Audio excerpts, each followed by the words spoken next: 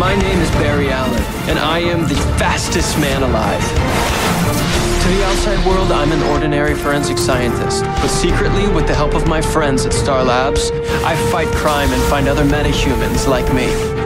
I hunted down the man who killed my mother, but in doing so, I opened up our world to new threats. And I am the only one fast enough to stop them. I am the Flash.